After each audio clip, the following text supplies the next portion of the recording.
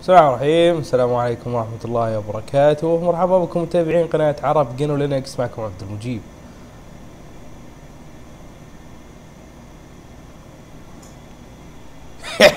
طيب اصبر خل اضبط هذه. أيوه. اليوم أتكلم عن ال shell scripting طبعا آه، تكلمنا بدروس كثير واليوم درس 30 الحمد لله.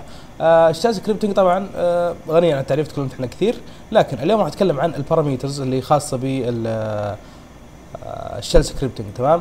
آه، طبعا الساعة الحين ثلاث بالصبح ما أدري ليش قايم الوقت نايم كثير اليوم. نشرب القليل من الشاي ونركز بالدرس. ال parameters عبارة عن أشياء تضاف إلى أي أمر تمام؟ بأي لغة برمجة موجودة ال parameters هذه. لذلك في ال shell scripting راح نشوف شلون نقدر إننا نظبط ال parameters الخاصة بنا بحيث إننا نقدر نسوي لنا أشياء أكثر متقدم وتكون سهولته. عالية. okay. لو جينا الحين كتبنا ls ماشي؟ ls هذا أمر okay؟ أي شيء يكتب بعد ls عبارة عن parameter تمام؟ فأنا لو جيت كتبت ls مثلا إيش إيش عبد المجيب؟ ls etc. الآن هذا ال etc عبارة عن parameter okay؟ أو أو معيار إضافي تمام؟ فلو كتبت ls ls هذا مو parameters okay؟ ال parameters اللي تجي بعده. فأنا ممكن أكتب etc مثلا أكتب dev هذه عبارة عن parameters okay؟ مجلدات راح أقدر أفتحها لكن بشكل عام أي شيء يجي بعد الأمر عبارة عن parameter okay؟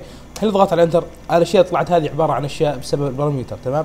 فأنا أي أمر أكتبه اسمه أمر أي شيء بعده يعتبر parameter فأنا لو كتبت مثلا على Arch Linux ما في apt لكن على Debian مثلا apt-get عبارة عن أمر و install عبارة عن parameter تمام؟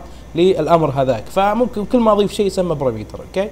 طيب أنا عندي ملف shell أبي أسوي عليه parameters كيف؟ تمام؟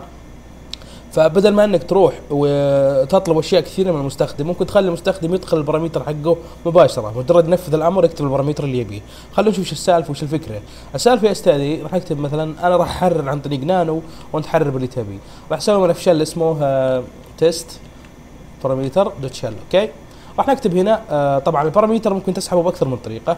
واحدة من طرق سحب ال parameter هي إنك آه أو صح أظهار ال parameter إنك تحط علامة الدولار مع آه الرقم ال parameter okay؟ ال parameter افتراضيا رقمه واحد يبدأ من واحد اثنين ثلاثة parameter واحد parameter اثنين parameter ثلاثة. ال parameter صفر هذا خاص باسم الملف okay؟ طيب أنا راح أجي أكتب هنا مثلا ايكو آه مثلا file okay؟ هنا راح نطلع اسم الملف. ماشي راح نحط علامة الدولار مع الصفر. السلك هذا أنا سوى لي قلق خلي اقرب شوي. okay آه طيب.